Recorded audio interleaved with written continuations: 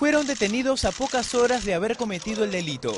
Martín Armesta Sosa, César Romero Díaz y César Lenin Mateus son parte de la banda conocida como los raqueteros del Callao.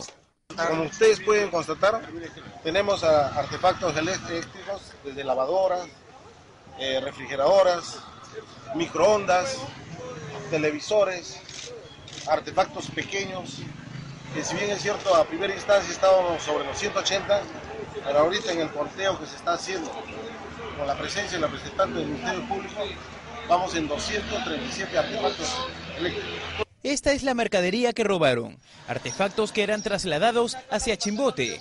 El atraco fue en la zona de Aucayama, en Chancay. Fueron un total de seis los delincuentes que portaban pasamontañas y armas de fuego.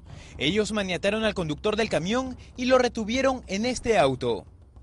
Posteriormente realizaron un transbordo de la mercadería a este tráiler, pero mientras se dirigían a Lima fueron capturados por agentes de la comisaría de Ancón.